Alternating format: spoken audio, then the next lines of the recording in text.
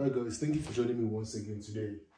Today, I just want to simply talk about um, our former president, Goodluck Ebele Jonathan. The reason why I want to talk about him and I want to talk about, I want us to remind ourselves of what happened when he was president was is simply because there is this news going, going around that he's going to run again for president next year. And um, I think it's important for us, for all of us to have this conversation of what happened when he was president.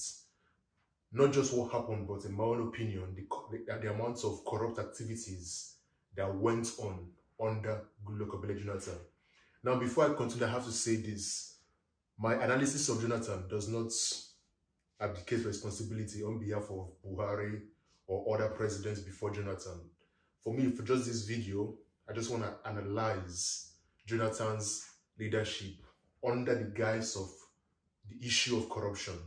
Now, obviously, we've had corrupt leaders before Jonathan. We've had corrupt leaders after Jonathan in the person of Buhari. However, like I said, the context for this discussion is because he wants to, apparently, the rumors is that he might be running again. And I feel like it's important for us, like I said, to remind ourselves of all the things that happened. If you remember, Jonathan ran for re-election in 2015 and he lost. The reason why he lost was obviously because of insecurity, because of um, obviously Boko Haram, the Chibok girls, for example, and lots of other issues. But one of the issues he also lost was because Nigerians were tired of the amount of corrupt activities that were going on, that were happening under him we were kind of disillusioned and we wanted change. Yes, obviously the change that we wanted is not the change that, that we have. Obviously things have gotten worse. And I like and like I said, I'm not excusing Buhari, I'm not excusing people before Jonathan. I'm just saying for the purpose of this video, I just want to remind us, or I want us to remind ourselves of all the corrupt activities, illicit activities that went on under Jonathan.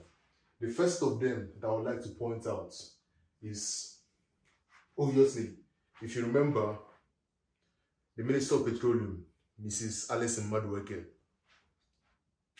she, she and her cronies stole $3 billion. I want to, I want to, I want to write this out in, let me write this out in black and see if it will make sense right? I just want to give us figures. 3 billion.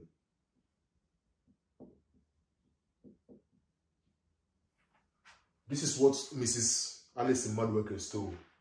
Alison Madueke up to today, she's not been brought to justice. She's not she's not had to answer for all this money that she stole. She stole this money together with um allegedly. She, so, she allegedly stole these monies together with Kola Aluko and um, Mr. Mr. Jide Omokore. I just want to make sure this is videoing as well, right? So $3 billion, Alison Madueke. Alison Madueke.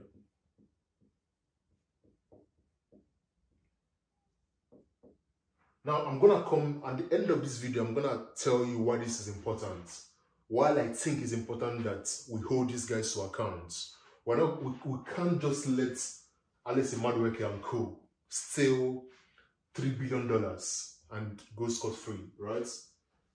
Another, another money is um, Dasuki Gates of $2.5 billion. Again, my friends, we're not talking of 2.5 billion naira. We're not talking of 2.5 billion cedis or whatever. We're talking of $2.5 billion. I think it's important for us to know the difference because it makes a lot of difference.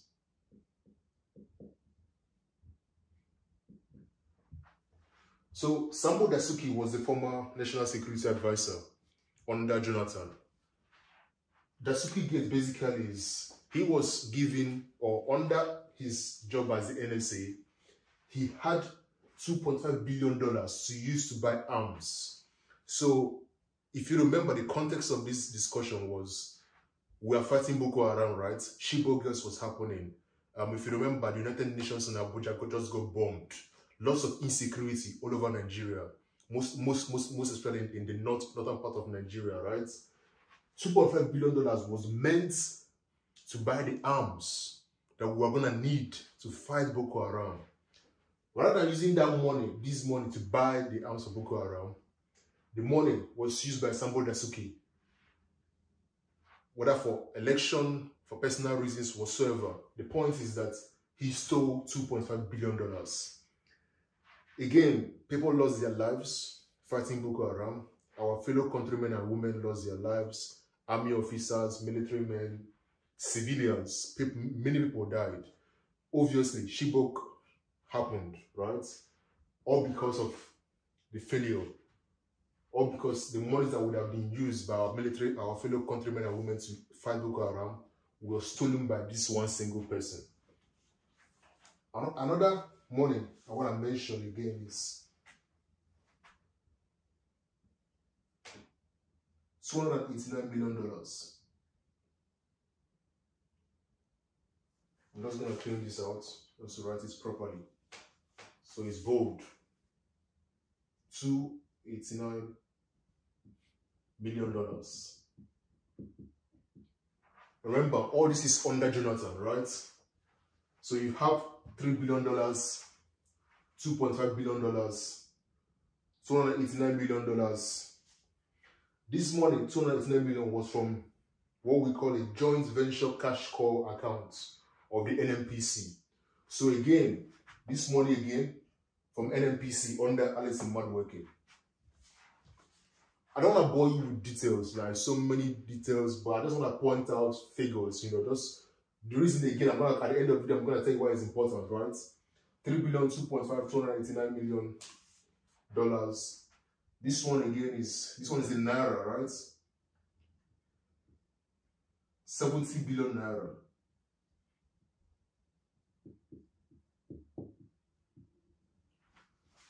70 billion. I'm just gonna write here NNPC. Just so we know what where the money came from. 70 billion naira from National Treasury.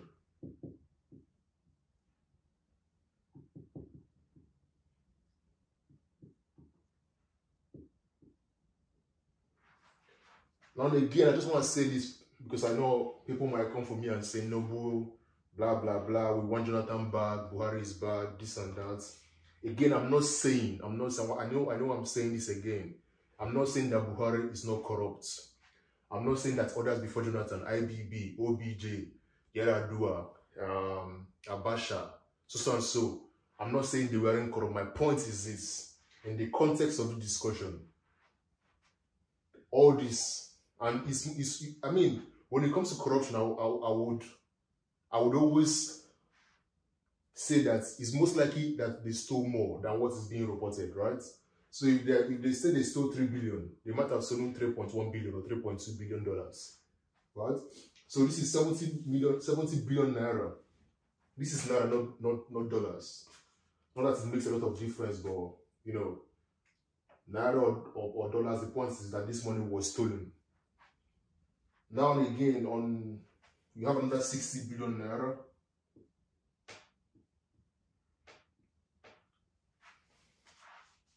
I think this is this is quite small.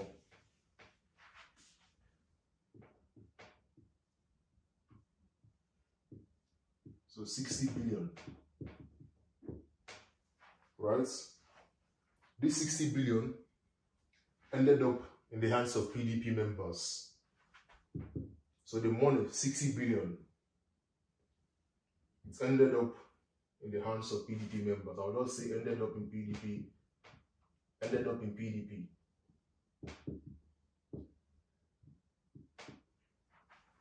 Right, 60 billion naira. Another money again is 1.5 billion naira. Another one is 10 billion naira.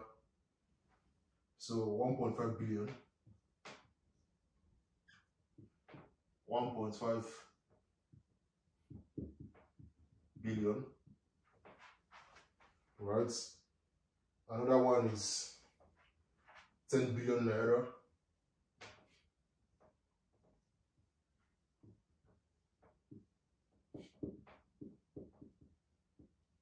Ten billion naira. I'm just gonna make sure this is videoing. Yeah, that's correct. So you have you have a government, right? A government that should care for you and I, a government that should use these monies to look after us, you know, to build those hospitals, schools, good roads. Under Jonathan, under good Goodluck Ebele Jonathan, you have all of this. And like I said in the video, it's always good to assume that more was stolen. So if they are saying that 1.5 billion naira was stolen here, perhaps 2 billion naira was stolen. If they are saying 3 billion dollars, perhaps Alex Madueke stole 3.2, allegedly, right? So this is just the ones that I just did a little bit of research. You can go on Google and look look look this up. It was widely reported when Jonathan was president that people were stealing money, money was flowing around. NNPC became private banks also for some people. Um, you know, and then coming to the issue, why why is this important, right? Like I said, Nigeria, we have so many resources. We are, we are so blessed with numerous resources, right? Oil, gas, human resources as well. We have so many smart people, medical doctors, engineers, and so forth and so on. In a country where you have this amount of monies, $3 billion, 2.5 billion, 289 million, 70 billion, 60 billion. This is, these are these are, these are big sums of money. We shouldn't be where we are as a country, right? We shouldn't be in the doldrums. We shouldn't be we shouldn't be that's on the precipice of, of being a failed state in, in, in Nigeria. We should have good roads. We should have better hospitals. So what I did was, having, having looked at this, right? Having looked at this, and hopefully I'm gonna take it, we're gonna we're gonna get a picture of this, right? I wanna I wanna compare. I want to compare and contrast I just want to compare and show you something.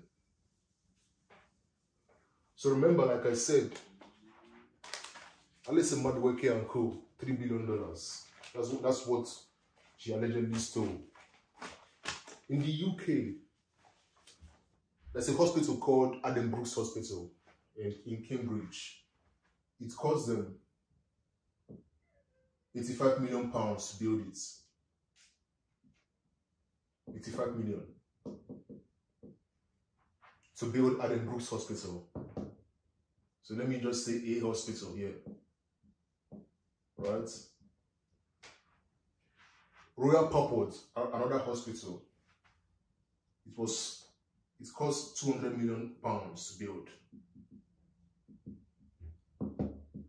Royal Papworth.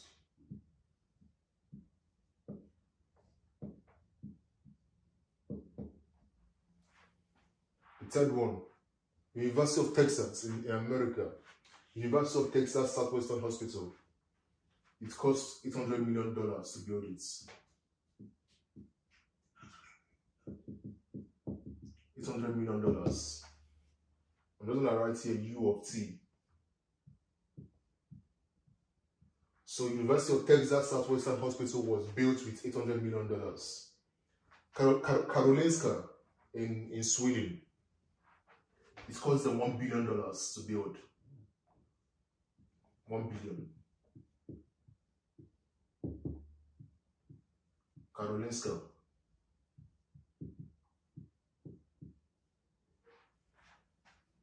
Right?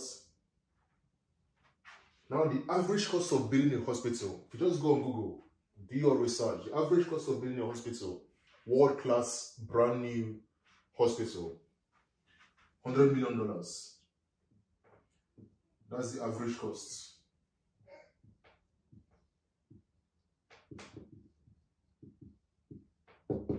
I'm using hospital here because I just wanna I wanna show you what happens in a country where you have that amount of money being stolen. This is what we are being deprived. This is what we are being deprived of. We are being deprived of the ability to have world-class hospitals. We are being deprived of the ability to have world-class schools, universities, I mean, go to our universities in Nigeria. Some of them, the roofs are leaking. You know, it's this is pale in comparison. Like that's why you have someone like Jagaban, who calls himself Jagaban, right? Tinubu. He leaves Lagos State and goes to UK and comes to UK for medical treatments. The reason being that he doesn't have any trust in all the in all the hospitals in Lagos. Tinubu lacks trust in them that he would have the, will I say, the guts to fly out from Nigeria and come to the UK for medical treatments. So that tells you that when he becomes president, if he wins the PD, the APC ticket, right, primary tickets, we're going to have Buhari 2.0. We're going to have someone that, you know, comes to the UK for medical treatments. We're going to have the same medical tourism. And rather than our leaders building us hospitals like this, we have Alice Madueke stealing 3 billion. We have um, Dasuki Gate of 2.5, you know, so forth and so on. So let's say, for example, the $3 billion from, for Madueke, that would have built us, so 100, that would have built us 30 hospitals in each of the states of Nigeria. So if you were to use this average figure, right, $100 million. Again, Alice Madueke stole 3.3 billion, right? So I'll just I will say here working. I don't think that's that's so clear. So I'll just say mad worker. Mad worker